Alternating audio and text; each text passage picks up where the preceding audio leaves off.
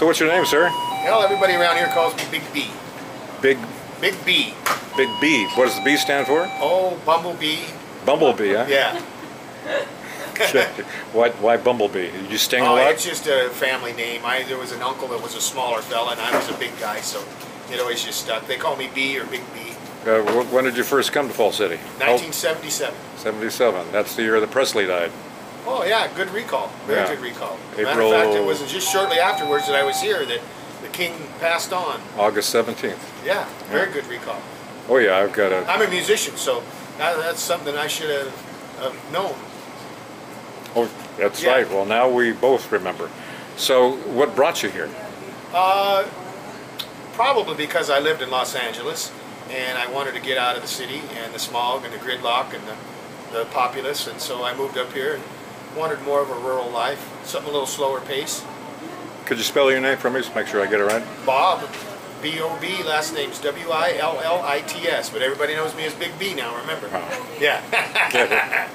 You have any kids? Uh, I do, as a matter of fact. I have one daughter, and she's uh, living down uh, with her four children in uh, Brookings, Oregon, Brookings. right on the coast, right So- on the border of California, Oregon. So, if you had to uh, give us a paragraph about Falls City, what would that be? Oh, paradise, absolutely. Paradise in the beautiful North Woods. And Falls City is known for. The falls here. That's the namesake of the town. Uh, there's a 40-foot falls here. It's uh, very spectacular. In fact, it's great camera op, uh, and it would, uh, you know, be, you know, you're, you'd like it if you went and took some pictures of it. I think you'd really get a, uh, you know, Can you describe out of it. describe the people for us? Uh, I'd say a combination, uh, different. Uh, this was a woodworking town, so uh, you've got people that are pretty, uh, uh, not so much farm, but woods oriented. You have loggers, tree fallers, and then you have, you know, now this has become kind of a, a community for people to get out of the cities in. It's, you know, people work here as far as Salem, McMinnville, different places, Corvallis. So it's just a nice, small, quaint place, low property taxes. Well, I shouldn't be advertising like this. It'll be overrun with people. Well, maybe you're thinking of running for mayor. No, no, absolutely not. I, I don't uh, have anything to do with the city at all. Well, if you ever did, you could use this. That's for Well, you know, it's just if you like where you live and you appreciate your your uh, citizens and your you know your neighbors and everything, well, you want to speak nice words about it. Mr. B. Yes, Mr. B. Big B. Big B. Yeah, Big B. Ever you ever see uh, the dude uh, with uh, the Big Lebowski. Big Lebowski? Absolutely. Yes. Yes. Hey, got a beverage here.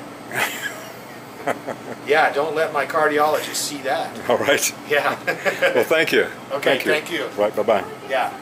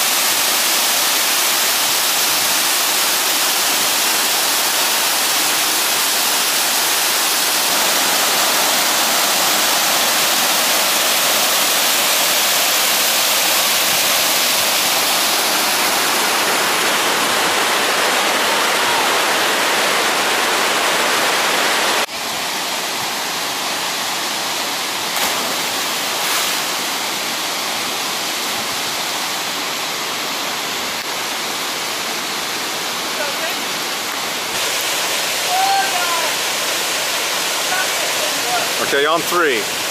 One, two, three. Oh!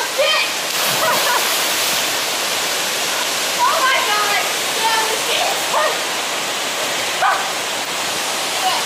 Excellent. All right. I'll do it again.